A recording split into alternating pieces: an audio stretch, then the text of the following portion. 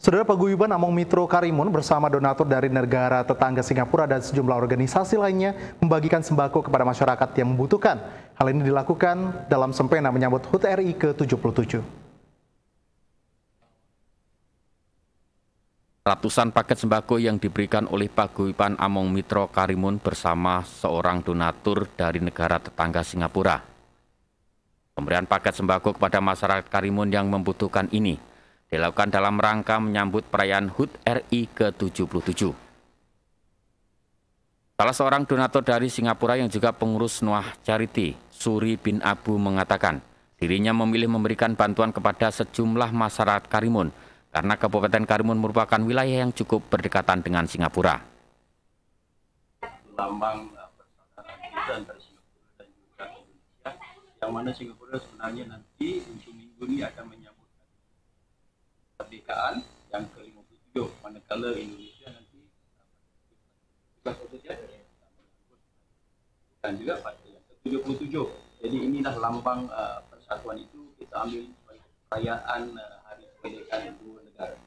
InsyaAllah uh, apa rancang kecil ini akan dipanjangkan uh, oleh nanti kita akan menjadi Sementara itu Ketua DPD Paguyuban Among Mitro Karimun mengatakan bantuan yang diberikan sebanyak 100 paket yang diharapkan dapat meringankan beban masyarakat.